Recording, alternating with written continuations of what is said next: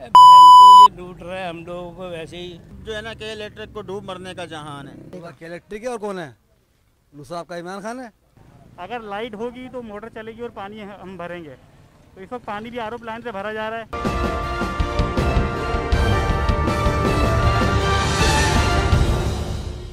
असलकुम गर्मी की शिद्दत में इजाफा होता जा रहा है। कराची इलेक्ट्रिक की गैर एलानी लोड शेडिंग भी तुलानी होती जा रही है। शहर में के इलेक्ट्रिक को इस वक्त 3,450 मेगावाट की बिजली दरकार है लेकिन के इलेक्ट्रिक के पास इस वक्त 2,800 मेगावाट तक की बिजली के इलेक्ट्रिक प्रोड्यूस कर पा रही है जबकि 650 मेगावाट का शॉर्टफॉल इस वक्त के इलेक्ट्रिक को सामना करना पड़ रहा है।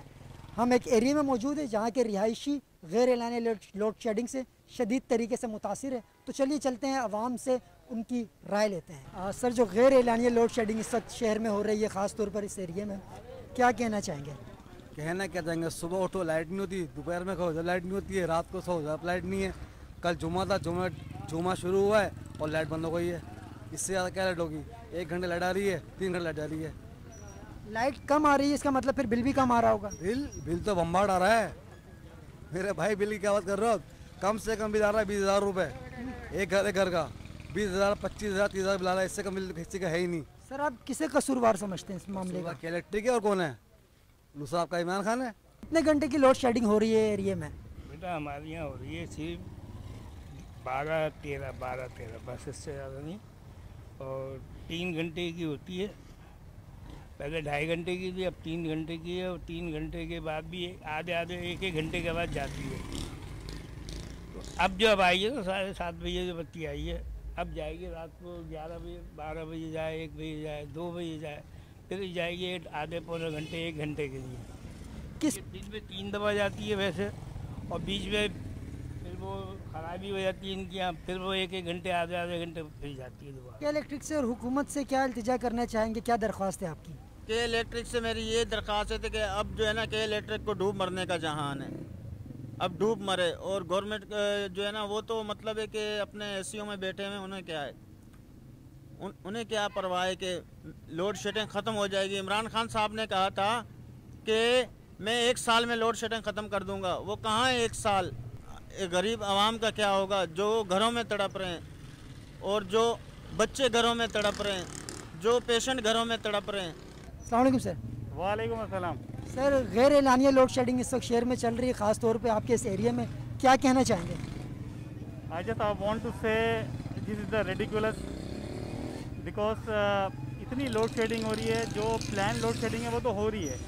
चलें ओके मान लेते हैं प्लान लोड शेडिंग है कोई बात नहीं के इलेक्ट्रिक के इतने वसाइल नहीं है लेकिन बगैर एलानिया भी लोड शेडिंग हो रही है जिसके से इतनी प्रॉब्लम्स हैं हमारे जो अप्लाइंसिस है वो ख़राब हो रहे हैं हमारे फ्रिज ऐसी जो भी घर में अप्लाइंसिस होते हैं वो सब ख़राब हो रहे हैं। ये भी नहीं कि आप देख सकते हैं कि इस वक्त मैं पानी भरने के लिए परेशान हूँ। अगर लाइट होगी तो मोटर चलेगी और पानी हम भरेंगे। तो इस वक्त पानी भी आर प्लांट से भरा जा रहा है। और इवन ये कि लाइट ना होने की वजह से जो बुज़ुर्ग हजरात घर में हैं वो भी बड़े परेशान हैं।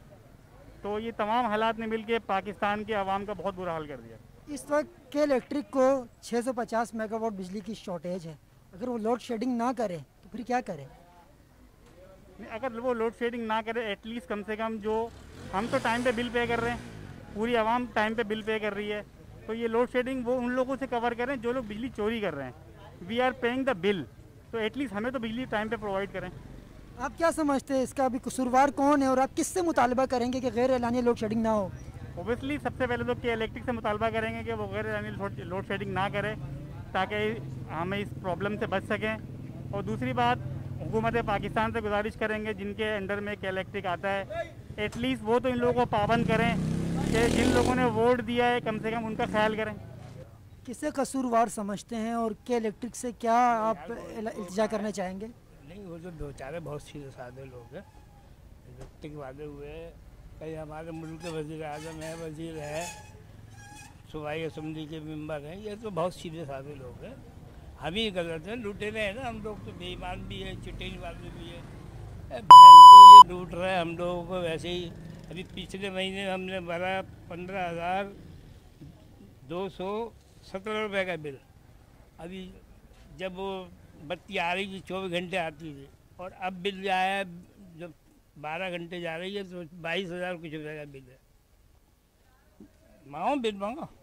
नहीं सही है। तो कुछ इल्तजा करना चाहेंगे? के इलेक्ट्रिक से कुछ कहना चाहेंगे? नहीं, यार ये तो बहुत शरीफ लोग है। ये- हाँ ना बहुत अल्लाह इन्हीं को तो अल्लाह ही सुधारेगा हमारी ताकत नहीं है। अल्लाह सुधारेगा। दुआ दे सकते हैं बेचारों को तो। इमरान खान साहब ने जो दावे किए थे वो आएँगे तो तमाम इदारे बेहतर हो जाएँगे और कोई किसी किस्म का मसला किसी शहरी को दरपेश नहीं आएगा। उन्होंने दावे किए थे खड़ों के कंट्रे बिल फाड़े थे उनको भी दिखाओ ना बिल तीस हज़ार रुपये के। ये जो गरीब आदमी कहाँ से भरेगा? जिसका घर पैंतालीस हज़ार का है उसका बिल ही पच्चीस हज़ार रुपये का है। क्या कमा रहा हो क्या खाएगा बैठ के वो फिर अभी पेट्रोल महँगा हो गया सौ लीटर क्या करोगे आप? बता मेरे को आप। ना कोई टाइम टेबल दिया ना कोई टाइम फ्रेम दिया कुछ नहीं। फ़ौरन में फाड़ दिया सौ लीटर का। इस तमाम मामले में आपका कोई मुतालबा है सूबाई हुकूमत से, वफाकी हुकूमत से? मुतालबा हम किससे कर करें यहाँ तो सब चोर बैठे हुए हैं। सारे नाहल लोग हैं। किससे मुतालबा करें बताओ मेरे को? कोई पूछाने हाल ही नहीं है, कोई पूछने वाला नहीं है।